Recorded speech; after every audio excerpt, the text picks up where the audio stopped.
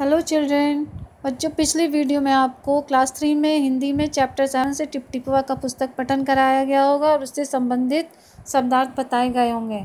आज मैं आपको उस पाठ से संबंधित प्रश्न उत्तर बताने जा रही हूँ, जिसे कि आप लोग ध्यानपूर्वक सुनेंगे।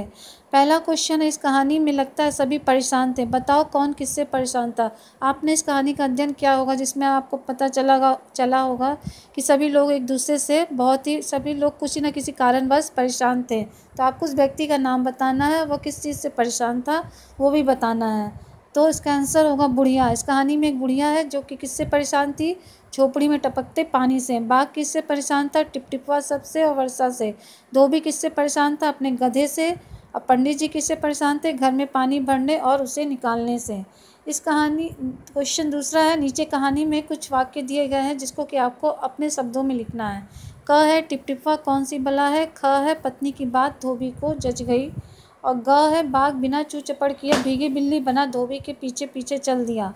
और घ है, ज़रा पोथी भाज कर बताइए वह कहाँ है? तो इसका आंसर होगा, पहला है टिपटिपवा कौन सी बला है? तो इसका आंसर है, ये क्या बला है टिपटिपवा? और ख है, पत्नी की बात धोबी को जच गई। तो इसका आंसर है, धोबी को पत्नी की बात समझ में आ गई। घ है, बाघ बिना चू चपड़ किए भीगी बिल्ली बना धोबी के पीछे पीछे चल दिया।